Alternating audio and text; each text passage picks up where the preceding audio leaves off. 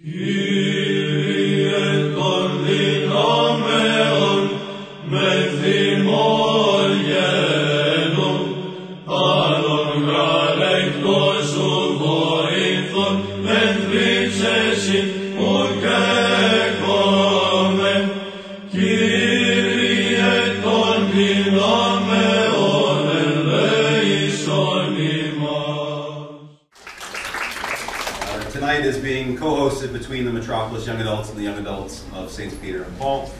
speaker tonight is Mr. Christian Gonzalez. Uh, Christian is a licensed associate marriage and family therapist who uh, graduated from Wheaton College, Azusa Pacific University, and Luther Seminary. He is currently the Young Adult Ministries Coordinator for the Greek Orthodox Archdiocese of America and a frequent contributor for Ancient Faith uh, through podcasting and videos that he has worked on. You probably know him from his collaborations with Steve Christoforou from Be the Bee. Uh, and tonight we welcome Christian to talk about things he's learned from one of his newest podcasts called We Are Orthodoxy, where he interviews and gives a space and forum for young adults to talk about their relationship with the church. And with that, I welcome Christian.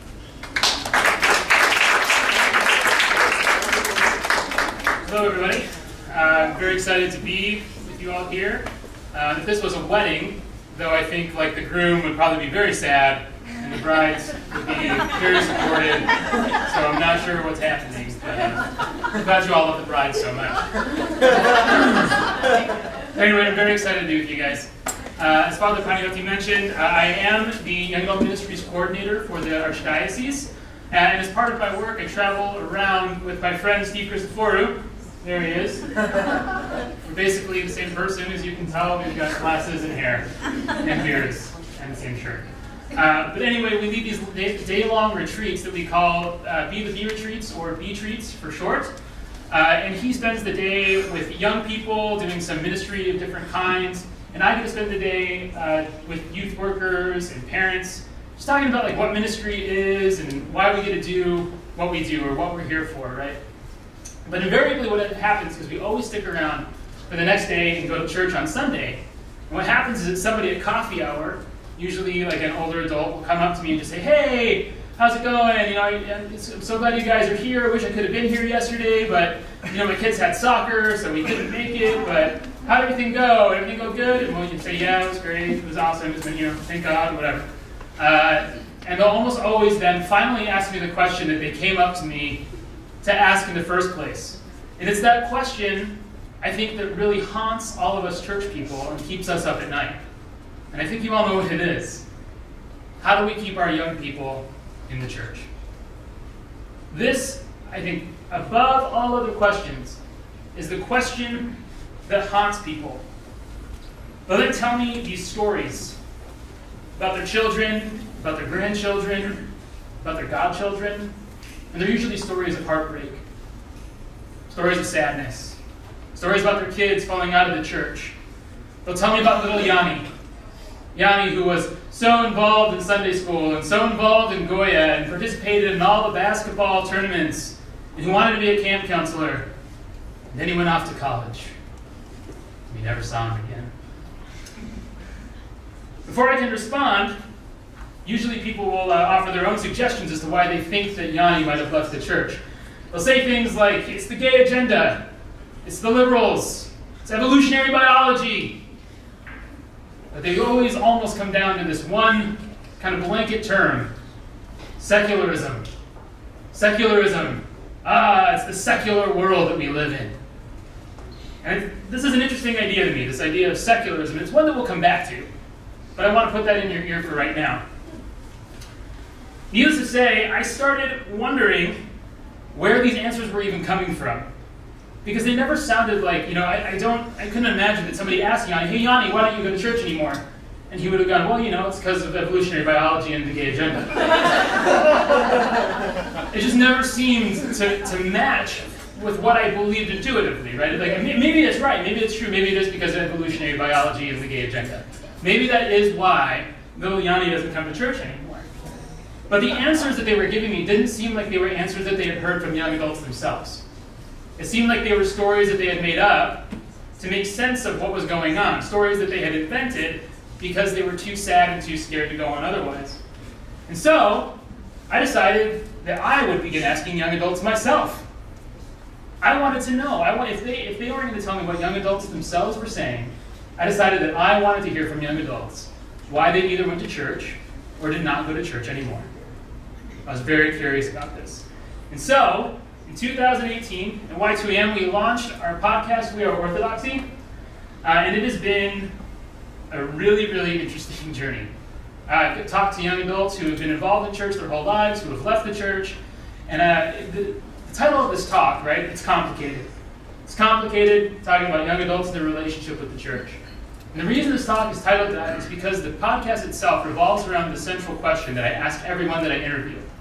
And that's if you were to describe your relationship with the Orthodox Church as a Facebook relationship status, how would you do that? Some have said married, some have said engaged, others have said in an open relationship. But the one that kind of sticks out, right, is it's complicated. It's a complicated relationship. And the reason I titled this talk, It's Complicated, is because the kind of the total of their responses have been, well, complicated. It's a complicated response. It's a complicated question. But as much as I, you know, I find it difficult sometimes when I'm, when I'm in these conversations to not fight back or like give answers to someone who might be saying something that I don't think is exactly what the Orthodox Church believes uh, or thinks, I usually bite my tongue because I really want to understand what's going on. I want to understand where young adults are coming from. Right? I really want to get it. And while the stories are complicated and in many ways quite diverse, they do have, I have seen, some narrative threads, some themes that have begun to emerge in the responses that people have given. Things that have shown up for young adults who are still in the church, as well as for those who have left the church. They all have some similar answers. And so tonight, what I want to talk about is some of those themes. And then I want to talk about why I think those themes might be showing up. And then I want to offer us maybe a scriptural story that can give us a framework to understand what ministering to young adults today might look like. Does that sound like a good plan? Cool. Let's do this. So here's the three themes that I've seen. And while I wish that I could talk about all of the stories in depth, I just time obviously won't let me. So the three themes that have showed up in these interviews, the ones that I have seen most readily are this one, a quest for an, an authentic identity. Young adults are looking to know who they are. Two, a need for belonging. There's a desperate need to feel like they're a part of something. And three, an enduring respect for the liturgy. So let's dive in. The quest for authentic identity. The quest for authentic identity, I think, is what we tend to believe, or what comes to mind when we think about like that perennial question that adolescents ask, right? Who am I really? They're searching for who they really are. I myself in high school tried on all kinds of masks and different selves, trying to figure out who I was. I remember that I went through this like heavy metal phase uh, where I wanted to wear nothing but black Puma tracksuits. and then shortly after that, I went through like a power pop, you know, fake punk phase where I wore like Dickies and Chuck Taylors. And then I was like, thought I was a beach bum, so I wore sandals everywhere. And then I did theater. It was a really confusing time, for sure, 100%. I'm still pretty confused. But as it turns out, this quest for an authentic identity is not something that is simply limited to, to adolescence. This question of who am I really? What do I really believe? What do I really think? It's one that still extends into adolescence, or into young adulthood, excuse me. Trying to figure out who we are. And as it turns out, there's actually several cultural sayings and ideologies that we kind of throw out commonly one of them is just this one you do you. You do you is kind of the cultural uh, like benchmark of authentic self-expression, right? Who am I to tell you who to be? You do you. Behind this idea is that each person is entitled to express themselves authentically. And no institution or person has the right to infringe on anyone, any sort of belief, or ask them to somehow live inauthentically or against what they believe. Does that make sense? For this reason, being authentic and being real is the one virtue of our day. It's really the only thing that's right, culturally speaking, which is why intolerance, or not accepting somebody for who they are, authentically, and really is really the only sin of our time, culturally speaking. Right? It's the only real sin. Perhaps we might even say that the only other sin would be being inauthentic, being not real, being fake. My friends, welcome to the age of authenticity. In the age of authenticity, you cannot get away, whether you are a believer or, an, or not, from the reality that you get to choose for yourself all kinds of things that you want to be and believe. That's just what it means to be a, like a young adult in America today. You get to choose. We're expressive individualists, and there are many, many, many options for us, and Orthodox Christianity is just one option among many. Let's face like we gotta face that, culturally speaking. There's tons of things that we can believe. In the age of authenticity, though, it's important to recognize that even though somebody might still choose to be Orthodox, even though they might choose something, a spirituality of which the content is not individualistic, right? Orthodoxy is not individualistic. The framework for them making that decision is inherently individualistic. Today, someone will still have always chosen to be Orthodox as opposed to being something else. 1500 years ago, 500 years ago, this was unthinkable. You just believed what you believed. Like everyone around you believed because belief had societal implications. Not today. 500 years ago, people were burned at the stake for being heretics. We don't do that anymore. It doesn't even make sense. It doesn't even resonate with us culturally speaking. Because this is what it means to have an ethic of authenticity. So, if at the center of authentic identity is the ability to choose for oneself, we need to bear this in mind. The quest for authentic self expression is central then to young adult spirituality today. There's no escaping it. The spiritual journey remains just that a journey. That's how a lot of young adults that I've spoken to describe themselves on this quest is they're on a journey. They're trying to figure out what they believe, what they think. Spiritual, but not religious. Trying to figure out what suits them. They're not wed to their current place spiritually. In episode three of We Are Orthodox, I interviewed a guy named Michael. And Michael's a recent graduate of college who describes himself as being in an open relationship with the church. When I asked him to describe his relationship with church and with God, he says, My relationship with God is that he understands and wants me to learn what I want and what's best for myself. And he's not going to punish me if I take a break or try new things or other things. It's between me and God and the spirit that's within my heart. There's so many rules, but it's like, dude, the creator of the universe isn't black and white. I'm on a journey to find what brings me life and where I find myself to be alive and well. When I asked him what brought him to this understanding, he told me about this time in college and how he and his friends would stay up late into the evening and talk about contemporary issues like same sex marriage and abortion, and how he found continually coming up against the wall as he tried to explain the Orthodox mind on these things. He ended up saying that while he felt like things like fasting in the church made a lot of sense, because this is just good to do all the time, to learn that you don't always get what you want, he still feel, and he also feels a strong need to do, do more fasting. But apart from this, he says, and I quote, that a lot of the things that I was told in church about what was going on in the world didn't really mend with what I actually believed. Because in a lot of these discussions, I was kind of agreeing with them more than with what more than I was with what I was saying. And this made me think, what do I really believe? Do I really believe this? Does this really make sense to me? Or am I just spitting what I've been told to say and believe? Do you hear what's going on here in him? At the core of what he's saying here is this issue of authenticity. Michael is trusting the voice of his own heart more than he is in trusting what the church has to say. Because at the end of the day, what matters the most is that he be true to himself.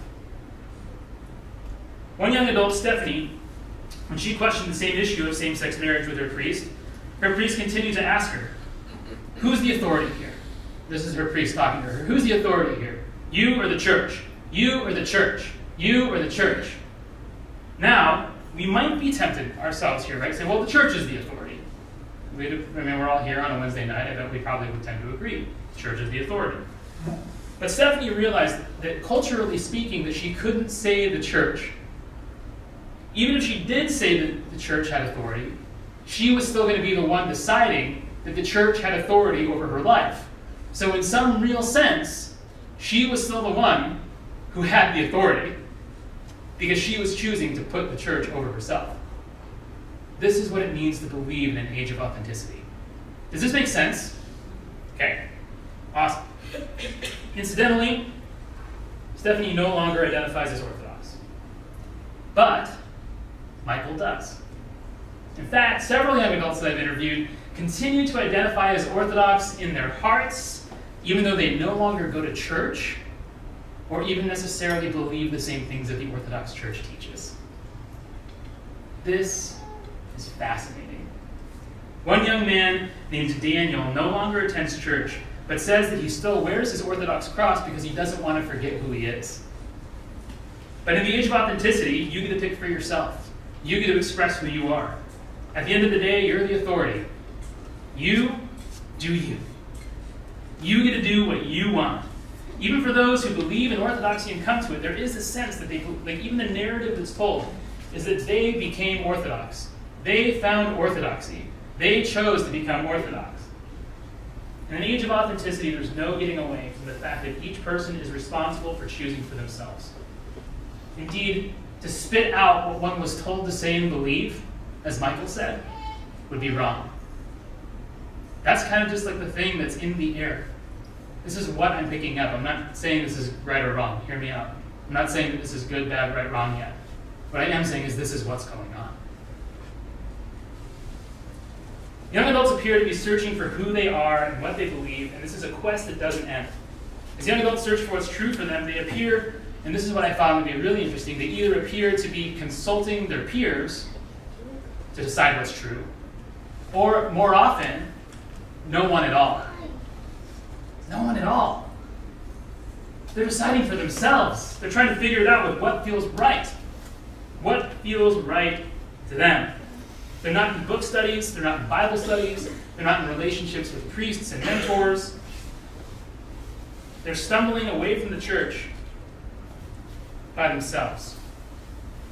On the other hand, though, when they have asked these questions, when they've authentically expressed themselves, when they've expressed their doubts in the safety of the community, when their priest has allowed them to stumble around inside the church, these young adults, they remain engaged. How interesting is that? That when they have a place to stumble and to be, be themselves, to bring themselves, they stay engaged. So this brings me to my next point. Second theme that emerges is the need for belonging. This is a big question for, for all human beings, right? Where do I fit? Once I've determined what I believe and who I am, who are the people who are like me that I belong to? Is there room for me at the table? This is the question that we're asking. But in a lot of stories of disengagement, it seems that many young adults believe the church doesn't have place for them. Ed is 29 years old. I interviewed him in episode 25. He says that even though he believes, and this is what he says, I, I still believe the church is good for me. I believe it'll be good to go. But he says without a community of people that he's committed to, or feeling that he has a place that he fits in at the church, he's less willing to make himself go, even though he knows it's good for him because he just doesn't have anywhere that he belongs. When he was in OCF, he would help out at local parishes as needed, and he could drag himself out of bed knowing that people were counting on him. But the relational buy in that existed for Ed in college no longer exists for him in his young adulthood. So, when he's faced with going to a place where nobody seems to care if he's there or not, or sleeping in and getting much needed rest, he chooses to stay in bed. In this, we might be tempted to hear that young adults don't feel like they have friends in church. But that's not what they're saying. They're not saying, I don't have any friends. They're saying, I don't have anywhere that I belong. I don't have anywhere that I fit. If we listen, they're saying, I want to know that my presence matters. I want to know that my presence matters, that somebody feels my absence when I'm not there.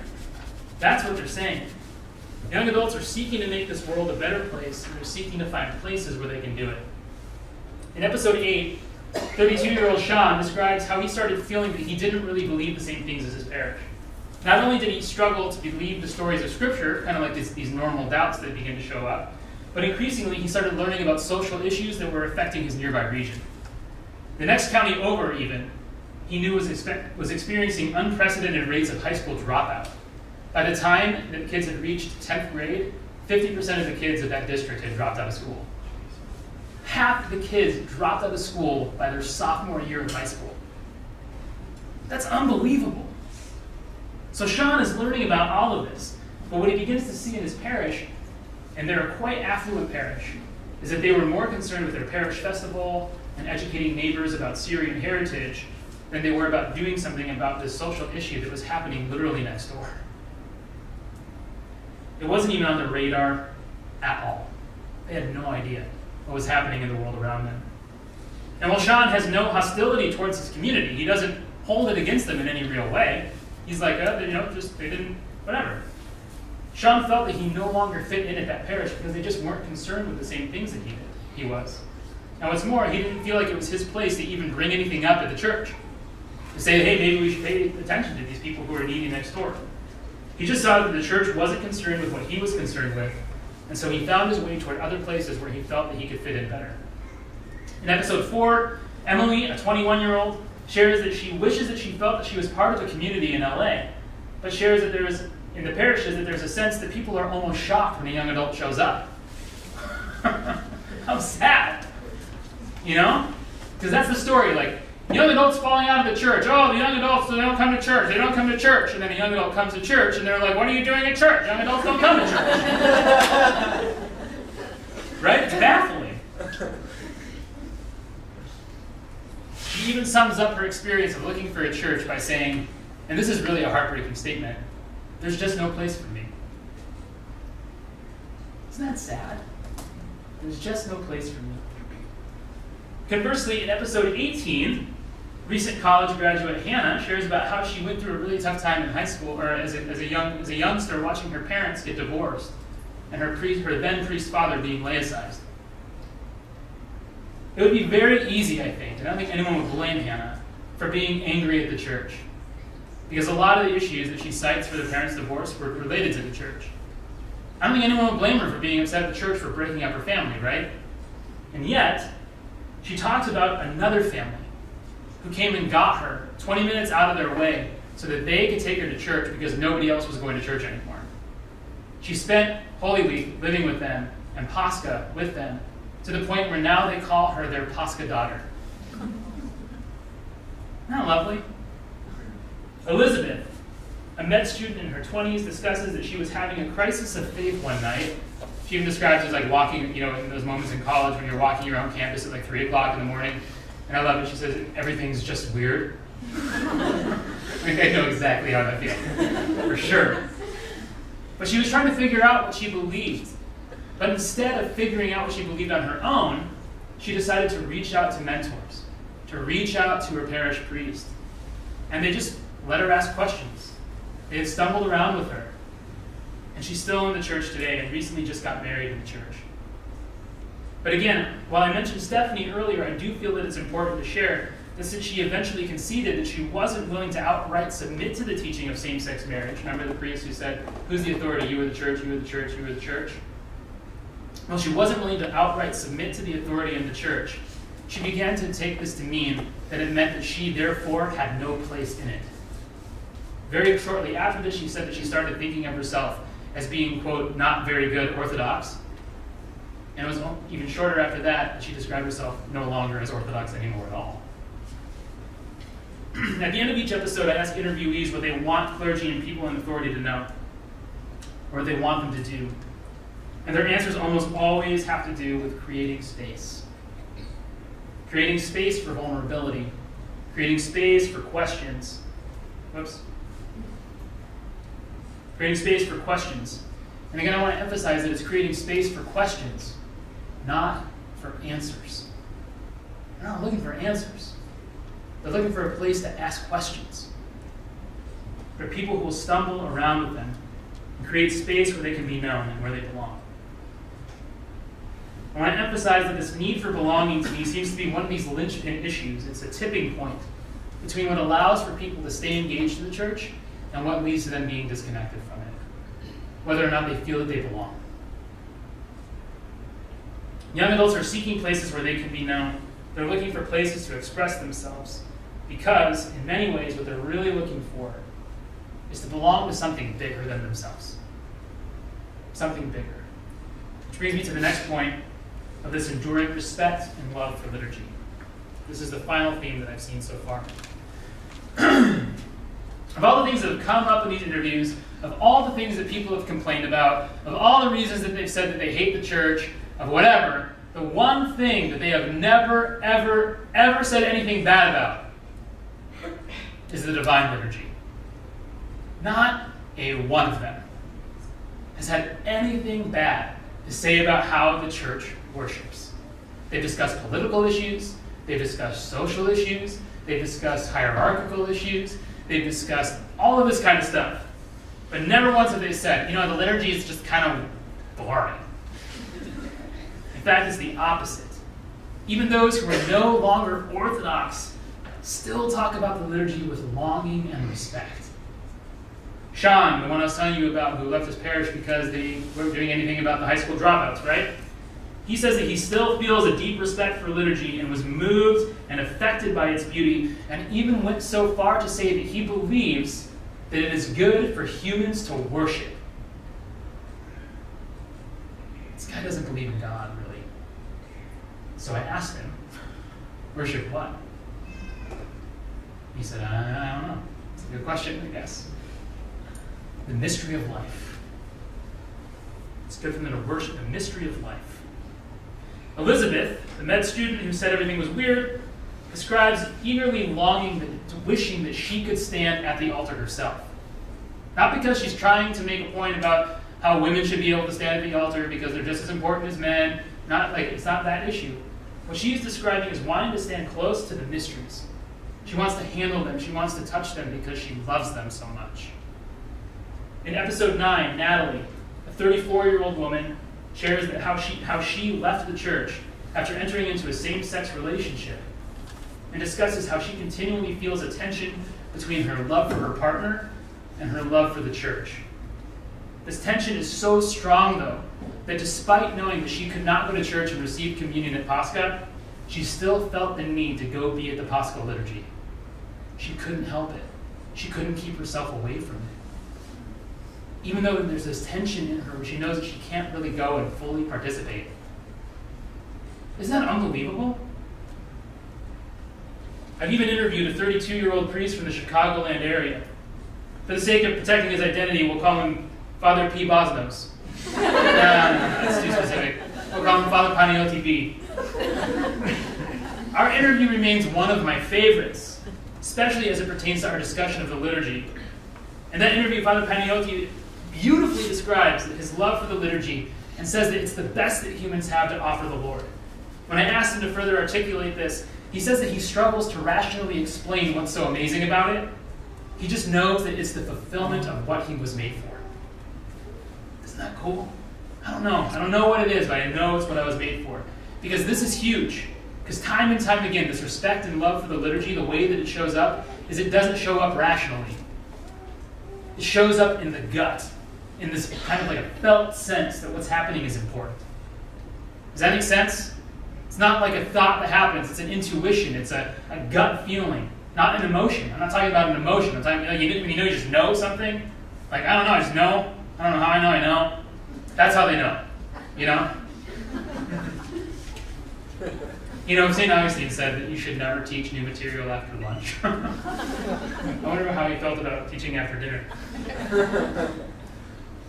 I want to point back to Sean when it comes to this felt sense. Sean doesn't really believe in God. So, by all rational thought, he shouldn't care about the liturgy at all. Right? It actually doesn't make sense for him to care about the liturgy at all. Yet, even still, in his gut, there's this felt sense that it is good for human beings to worship something. It's good to worship something. All right. You guys doing okay? So these are the themes that I that I have noticed. These are the three major ones. I'm sure there's other ones, but these are the big ones that I've seen.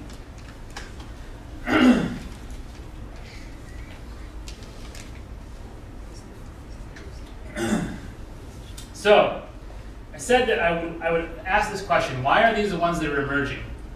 Why is it that some of us, when these themes come up, lean toward the church while others lean away from the church, even though it's the same themes all across the spectrum?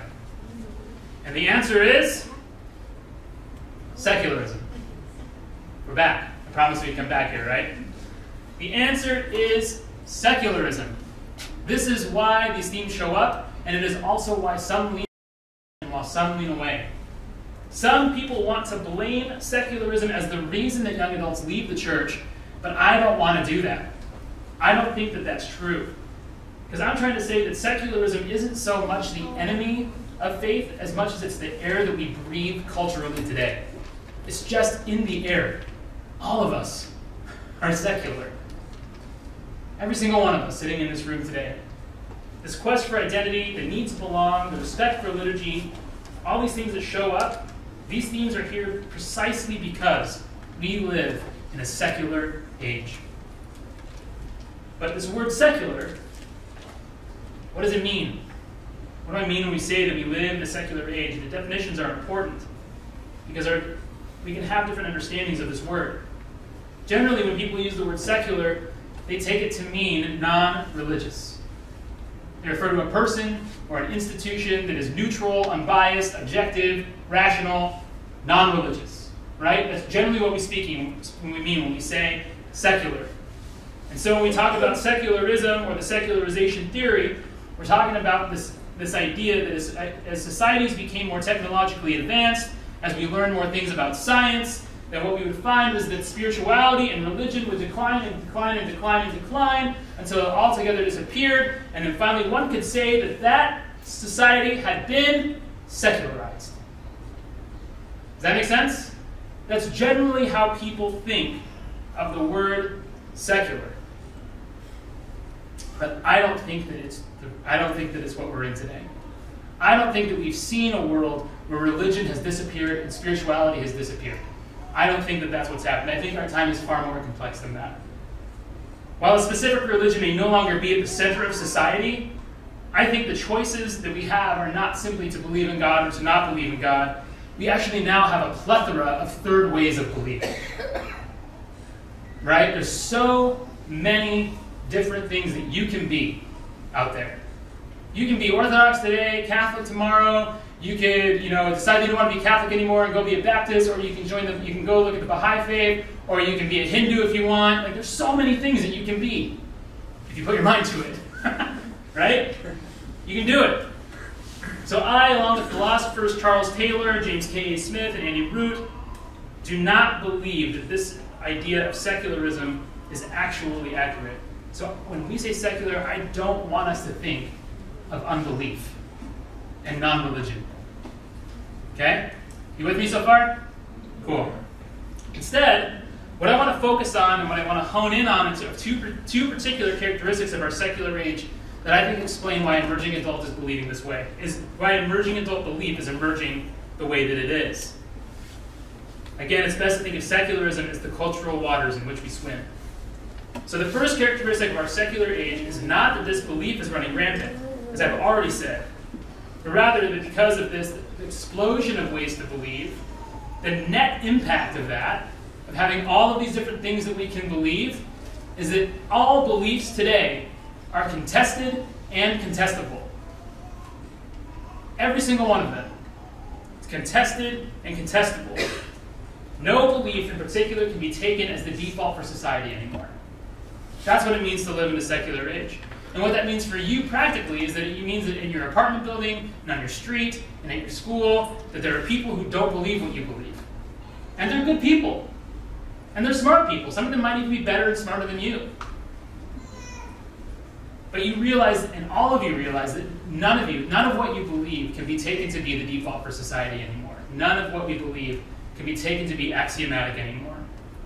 And none of you feels the need to believe what somebody else believes. That's what it means to live in a time where all beliefs are contested and contestable. Because these stories all live in proximity to one another, and everybody then is pushed and pressed from all these different sides with these rival stories of who we are and what we're for. Does this make sense? Do you all feel it? To live in our secular age today is to live in what Charles Taylor calls cross pressure. living between doubt and belief, living between enchantment and disenchantment, between immanence and transcendence. We feel all the pushes and pulls on us. And so, what this means is that in our time, doubt is not the enemy of faith, but rather, doubt is the companion of faith. Today, we're all doubters. We all will believe while doubting. For some in the church, this may seem scary, but I think it's an opportunity. Because if this means that believers are tempted toward, toward unbelief, but we're all doubters, then that means that unbelievers are sometimes tempted toward belief. That's a really interesting cultural moment that we're in. So, the second characteristic then that I want to turn toward was what Charles Taylor calls disenchantment. What Taylor describes here is less of an ideology and more of a felt sense that fills the background of our lives. To live in a secular age that is disenchanted means that we live in a cosmos, in a universe that has been flattened, that has been stripped of transcendence, that has been stripped of mystery, and we're closed within what Charles Taylor calls the immanent frame. A good way to think about this is that we've unhooked creation from the Creator and we're left with nature. Right? We've made the shift even in our language. We talk about nature, not so much creation. It's just part of our social imaginary. Does that make sense? It's taken for granted. It's not even something that we necessarily consciously think about. The implications of this shift in our imaginary, the shift from a divinely ordered cosmos to a naturally expanding universe, right, means that we human beings no longer find ourselves to be in, in a divinely appointed place in God's creation. That's how it used to be. We used to believe that we were in this divinely appointed place in the creation of God. Talk about security, right? Like, oh, look, he, he's put us at the center of the universe. Now, however, we have this, where we're left to float aimlessly in space we no longer have any place. We're always on the move. We're just floating aimlessly through space. And we know the universe is ever expanding. And we're like, do you have any idea how fast we're just like hurtling through the cosmos at this point? Like, it's really scary when you stop and think about it, right?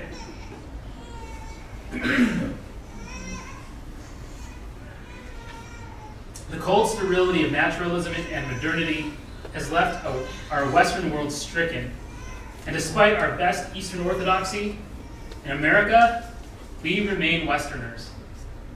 It has left the West stricken with a cosmos that has been ev- evacuated of transcendence and mystery. Unfortunately, I feel like a lot of this has actually happened in the church as well, and a lot of it has actually happened in, the ministry, in our ministries. And so we cram people into lecture halls to feed them perspectives and information, and we flatten Christianity as well. And a dynamic that Taylor calls excarnation right? You know about the incarnation, Christ taking on flesh. He describes this as excarnation, the removing of the flesh. Our concept of faith thus becomes less embodied, less communal, less sacramental, and it becomes more about ideologies and worldviews. So we live in a secular age where nothing can be spoken of as axiomatically true, and where the general sense is that the world is flat. But what secularization theory didn't predict was that this flattening of the world would be too much for the human spirit to bear. It's too much for us. Right? Because there's moments when the transcendent breaks through. There's a moment when there's crack, there's times when there's cracks in the immanent, Like when one holds one's first child. When a parent dies. Or when one finally sees U2 live at concert. These are moments when the transcendent breaks through. However, when we live in a world that is pressed upon by disenchantment, that is void of transcendence, when we live in an age where nothing can be spoken of as axiomatically true, and you have that moment where the divine breaks through, the best that people are left to do is to come up with their own explanation about what happened, to give their best account of what they're experiencing. Does that make sense? They're just left to do you. All that they can do. If nothing can be spoken of as true, and we're surrounded by disenchantment, and this is what's going on. For church, for church people, I think this can cause us a lot of anxiety. right? And so we try to answer, give answers and orthodox perspectives that I think usually end up clothing, amount to being, uh, to clothing political views in orthodox vestments. We flatten orthodoxy in a lot of ways. And what's more is that we're competing with flattened voices in the world that are also trying to offer certain certainty, trying to offer I alone can solve this type solutions, trying to you know bring some resolution to our deepest existential fears. But I think this is why young adults tend to resist the easy answers that are thrown at them from the church. They don't want to exchange one flattened understanding of the world for another. The easy answers ring as hollow and they feel like the church isn't being honest about this rising sense of cross pressure that they feel every day in their lives. And so they feel like we're hiding something. In other words, they feel like we are being inauthentic.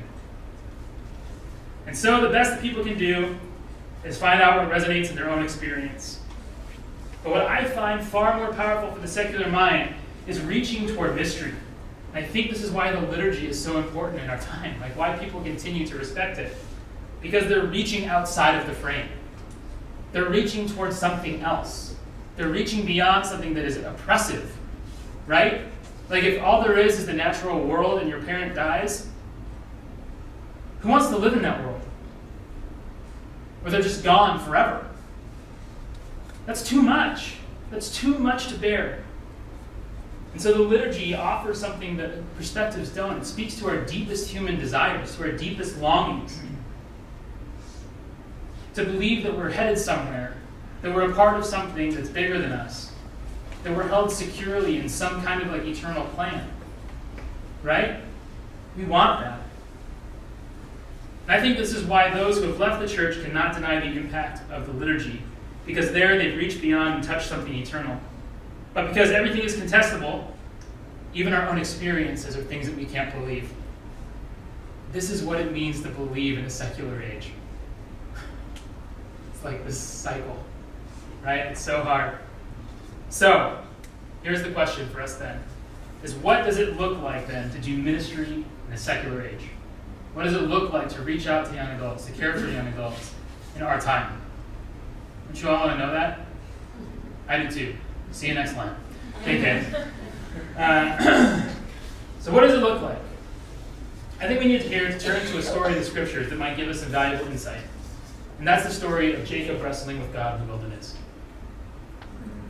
In Genesis 32, Jacob's preparing for what he thinks is going to be a showdown with his brother Esau. he sent his wives and his children on ahead of him, and he's just kind of like getting ready for this thing. And then in verse 24, the way that it reads is just, it's really kind of like this all of a sudden type moment. You know, like those, it's like you don't even know how it happened, but it really is this all of a sudden. Verse 24 reads, Jacob was, le- Jacob was left alone and a man wrestled with him until the breaking of day. you know, because that's what happens when you're like, hey, honey, why don't you go ahead? I'll meet up with you, you know, in a little bit. And now I'm in the middle of a wrestling match. Jacob and the man continue to wrestle, wrestling all through the night. Wrestle, wrestle, wrestle, wrestle. Until the man realizes that Jacob is not going to give up. Jacob is not going to quit. And then the scriptures say, and so the man touched man touched. The hollow of his thigh, and Jacob's thigh was put out of joint as he wrestled. But even then, Jacob continues wrestling with him. And at this point, the man even says, Let me go. the day is breaking. But Jacob refuses, I will not let you go until you bless me. It's a very strange story, right? bless me. Here, so here the man asks Jacob his name, and the man renames him. He says, You are no longer Jacob, you are Israel. For you have striven with God and with man, and you have prevailed. And then Jacob asks the man his name. What's your name? But the man responds, Why do you need to know my name? and then he disappeared, and he's like gone. It doesn't say where he went, but doesn't mention him anymore because what happens next is Jacob now realizes that what he is what has happened. And so he names the place Peniel, saying, I have seen God face to face. And yet my life is preserved. And then the sun rises, and Jacob walks off into the sunrise with a limp for the rest of his life. Isn't that a great story? Because that's the punchline, right? Is that it looks like he was wrestling with a man. But in reality, he was wrestling with God. All night long. Jacob was wrestling with God, and he walks away from that encounter with a limp. In my mind, this story is a great image of what our ministry should look like. If we're ministering to young adults in a secular age that's characterized by cross pressure, then we need to have a paradigm for what it means to wrestle with God. I think one of the primary issues that we run into is that when people come to us, they're in the middle of a wrestling match. They're in the middle of a fight. And all too often, we're trying to break it up. Trying to get the fight to end by giving them quick answers. By saying, like, this is how it is in the church. This is the Orthodox way. This is the Orthodox perspective. But it's not that easy. God Himself doesn't even end the fight. God is God who is God and tried to end the fight just by touching the guy's hip, right? He's just like, boop. Right? Fights with him all night long. And even then, Jacob doesn't give up. He doesn't try to shut down the fight. God lets Jacob wrestle. At any moment, God could have ended it. He could have beaten him into submission. He could have turned him into dust. He could have smitten him. Right? But he doesn't do that. He joins into the fight and wrestles with Jacob. He wrestles with him. Just like a good dad wrestles with his kids.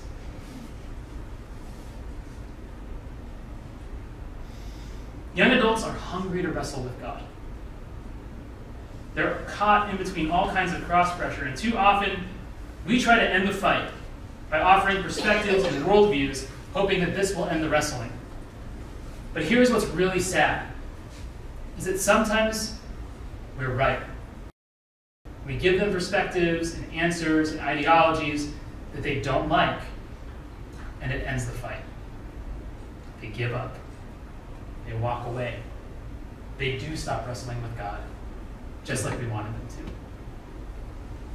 They decide that maybe this God is too fragile to wrestle with them, too weak to handle their deepest questions, not smart enough for them, and he's afraid of the questions that they have to ask.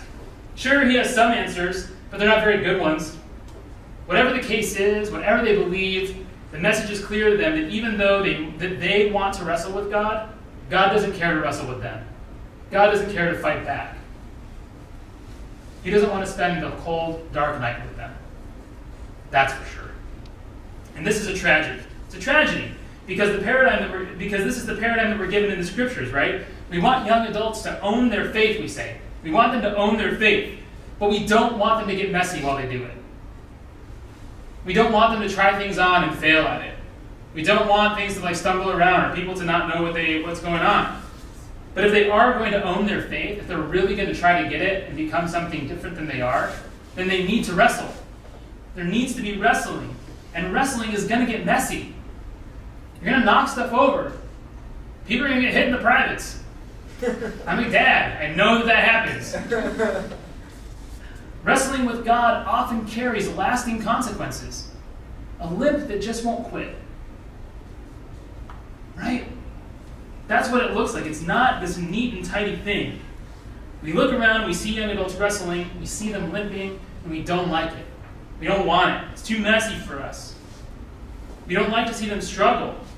But here's the thing is that the struggle that Jacob goes through is the very thing that gives Jacob his new name. It's the very thing that makes him different than what he was. And his limp is the evidence of a divine encounter. If we're depriving young adults of a chance to wrestle with God and with the church, then we may very well be depriving them of a chance to come to know themselves and to know God in a new way. I'm going to say that again.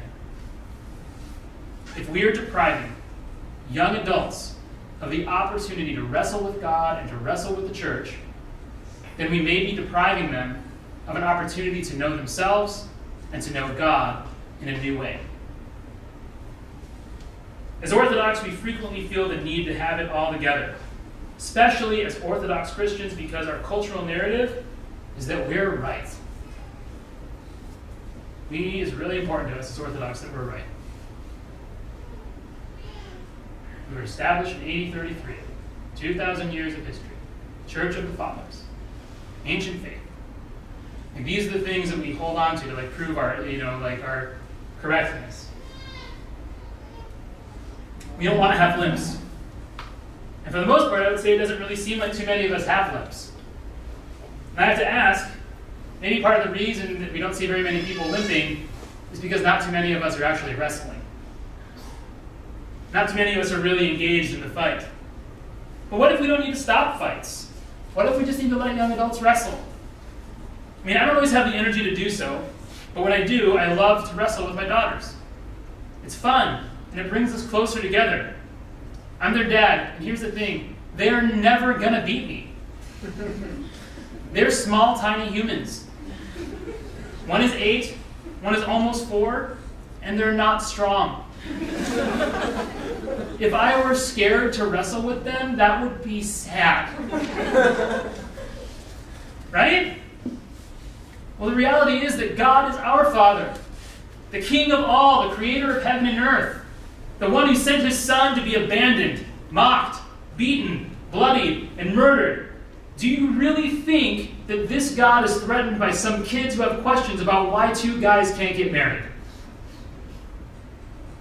Do you think that that scares him? Really? I'm asking. Yes, it scares God. Let these kids, let these young adults, excuse me, let these young adults wrestle with their father. Let them struggle. Let them push against him as hard as they can. They're not going to win. They're not going to knock him over. Let them duke it out. God wants to fight with them all night long because he loves them. And even if they keep fighting forever, even if they never quit fighting, even if he touches their hips and gives them a limp and they never let go, they're never, ever, ever going to win. But they will be renamed and transformed. That's what the scriptures tell us. That's what the scriptures show us. What are we so scared of? The church is strong and has stood for 2,000 years. It doesn't need a lot of defending. It's not going down. The church believes that certain things are good and proper for the human spirit, and we're not bending on that.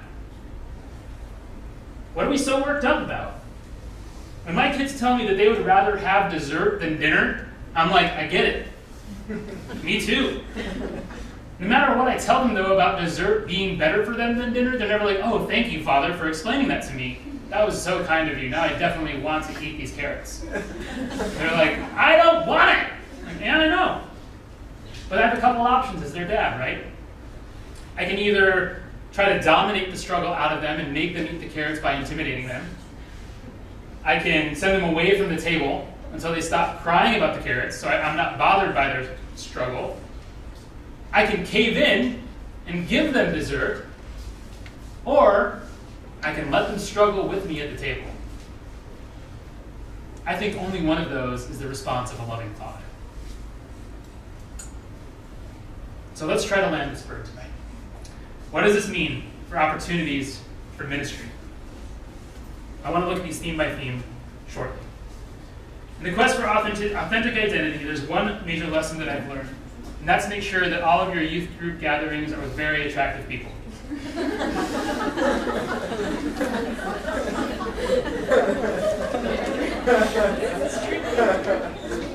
That hilarious picture? no, I'm just kidding. In the quest for authentic identity, the major lesson that I have learned from We Are Orthodoxy is that we need to learn how to shut up. We need to learn to shut up. We need to learn to listen. Almost every time that I have one of these conversations, I'm amazed at how people are just like, thank you, thank you, wow, thank you for listening to me. And we get off, and I'm just like, that was great. Like, thank you for doing that. They're like, thank you. My life makes sense to me in a way that it didn't make sense before. And I'm like, I, I didn't even, not like I organized anything, I just like listened and told them what I was hearing. And somehow that's like this really moving, helpful ministry. We need to make room for people to be messy. We need to learn to shut up. People don't care how much we know until they know how much we care. They need to know that God and the church can handle whatever they throw at them. that they're stronger than them. They can handle it. Ask it all. Bring it on. Bring it on. That should be the name of a young adult ministry. Bring it on. So then someone can go, it's already been brought in. We need to welcome everything. With God and Jacob, we see that Jacob fights all night long. He won't let go. We need to create spaces for young adults to be honest, to struggle with questions, and to not let go until they don't until they want to let go. We need to be okay with it. We need to make sure that young adults feel that there are places where their entire personhood is welcome. As they try to integrate a vision of who they are and what they're for. Jacob gives God his all, never backing down. Young adults want to give us all. So, what if, alongside of teaching the doctrines and the stances of the church, which I think are things that absolutely matter, like we need to know what we believe, right? But what if we also have like support groups to like wrestle with these issues, to wrestle with these things, and how hard it is to believe some of them? Is everyone, anyone here like, I mean, if I'm going to be honest, like there's some things in the church where I'm just like, I don't, I struggle with that. That's hard for me because I'm a sinner and dumb, and I don't see things the way that God sees them, and I'm kind of okay with that because I trust Him. And I trust the church. And maybe I don't get it, but maybe one day I will. And maybe one day I won't. Either way, God is still good. Either way, the church is still our mother. The question is whether or not we know that we can trust God as Father and trust the church as Mother. What if we can make places where our doubts can be shared? This raw kind of vulnerability, I know, is hard, and it demands that we learn to shut our mouths because we need to learn to be comfortable feeling uncomfortable. We cannot rush to fix issues. We cannot take people out of the fight. People are not problems to be fixed, they're persons to be loved and known. And if the church isn't a place where they feel like they're going to be loved and known, then they're going to go to other places where they do get that. It's just what's going to happen. Secondly, the need to belong. What I love about the story of Jacob and God is not only that Jacob gives us his all, but God gives Jacob the entire night sticks it out with Jacob. As much as young adults need a place to fight, an arena, they also need people who are going to fight with them. God doesn't just walk away from the wrestling match with Jacob. He struggles with him all through the night. His body and God's body are entwined in combat all night long. And who are we if not the body of Christ? We are that body that is engaged in wrestling with Jacob, willing to stay engaged in the fight, can we stick it out with young adults as they struggle? Can we go through the long night? Will we make room for them to limp and battle, to hang on desperately? Or are we tired of them? Do we just want to get rid of them? Shut them up. Send them to Orthodoxy on tap. Give them their own space. Are we really that impatient in begging them to let go? Let go. Let go of this. Let go of that. And if so, why are we so shocked when they listen to us and finally do? We can tell them to shut up, like let go, the fight, stop fighting with it. So they do. The scriptural story is embodied. They fight, names are exchanged. While one name is exchanged, a new name is given. Jacob says he sees God's face. It's a personal combat story. Young adults, who have had people engaged in a wrestling match with them walk away from an experience changed. I can even tell you myself, when I was going to Wheaton, I was surrounded by Protestants, right? And so they all went to their Protestant churches, and I kind of was like, well, I, I think I want to be Protestant again. Like, I, I don't like being the only person that goes to church from my school. That sucks. I'm lonely. sad there. And so I decided to call my priest and tell him that I didn't want to go to church anymore, because I kind of like stopped going to church at that point. I said, hey, can we have a meeting real quick? I just want to talk about this with you. And so we got together, and I told him, you know what, all my friends, like, they're going to like this Anglican church, and I want to go with them. And I told him all the reasons why I didn't want to be Orthodox anymore. And he just sat there very patiently and kind of like nodded his head and listened to me. He was like, okay, all right, totally valid, 100% valid, Christian. I get it. That makes total sense. But here's the thing, you haven't been coming to church lately, right? I was like, no, I haven't been coming to church. I said, well, if you were in a relationship with a girl, would you just like not call her anymore? Would you break up with her to her face? I was like, well, I know what I'm supposed to say. no, I break up with her face to face. All right, great. So tell you what, why don't you come back to church on Sunday, just one last time, break up with the church face to face. Come back here and tell the church you don't want to be here anymore. Tell Jesus, tell the Theotokos, like just tell him. Own it. All right, Father, I will. 15 years later, here I am. You know what I mean? Like, I, I never, it, it, it never dawned on me again that I didn't belong there. Never again. I've changed as I have wrestled with God. I do not believe the same things that I believed 10 years ago. I just don't. I've grown up a little bit. I've been changed by the church. Does anyone here believe exactly what they believed 10 years ago? Like exactly, exactly, exactly? Things change. We change. And so I think that there's like a part of us that maybe, this is sound really condescending for the young adults in the room. I apologize. I am a young adult. When they come to us, they say something that, you know, maybe the church doesn't believe. I think there's a little part of us that might need to just say, like, that's cute. I remember when I had my first beer. You know? Like, I feel like we might just need to just be like, you're young, and it's cute that you think that. But it's also honest that you think that. You're not going to think that 10 years from now. I don't know what you're going to think, but it's probably not going to be that. Does that make any sense? It just happens, just naturally, we change. Finally, we need, when we do this, I think it actually does make room for divine encounter because God is known to us in the wrestling.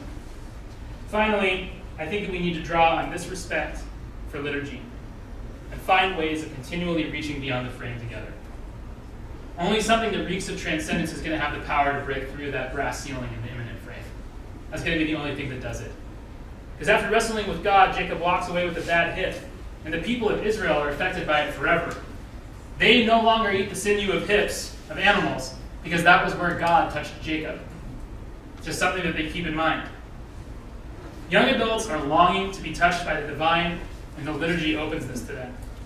Our ministries and parishes must not just be places of orthodox expression and ideologies, they need to be true places of prayer, true places where we come face to face with God, and practices that reach beyond the frame. We need to be able to pray for one another, stand together, turn to each other and say, hey, I'm really struggling right now. Can you pray for me? Not like when you get home. Like right now, can we just like, I need help. Can you pray for me right now? And what would it be like? If we just knew that like we could all reach out to the Father together. We don't just need more worldviews and orthodox perspectives. We need to engage in practices that reach beyond the frame. We don't need to simply explain why orthodoxy is pro-life. We've done enough of that. We get it. Church does not want you to abort your babies. We get it. Instead, maybe what we need to begin doing is praying for the, vic- the victims of abortion in a way more specific way.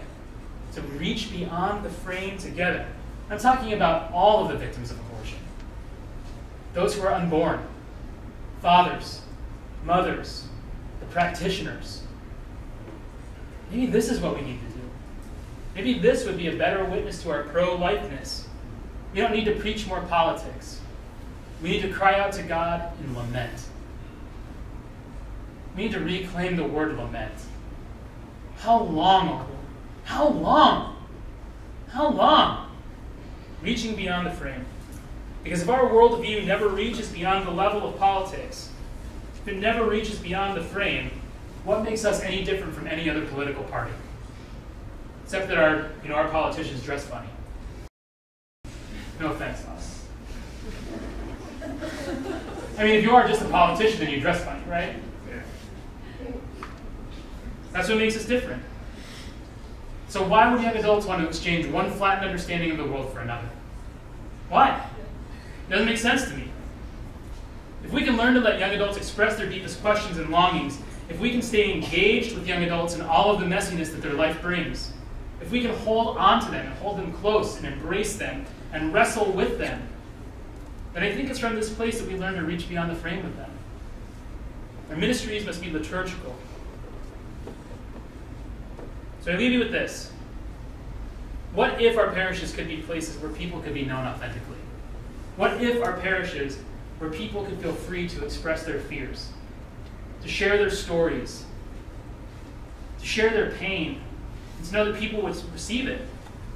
What if we didn't just say, okay, I'll, I'll pray for you as a nice religious way to get out of an, as a nice religious way to get out of an awkward conversation? What if we actually did churchy things together and said, let me pray for you right now? Because that sounds horrible. And I'm in it with you. Let's wrestle with God together. Why, Lord, are you letting this happen? What if? What if we did that? I wonder if people across this parish and all parishes in the United States would then finally have a moment where they also, with Jacob, could say that they have truly seen God face to face. That's all I got. Thanks, guys.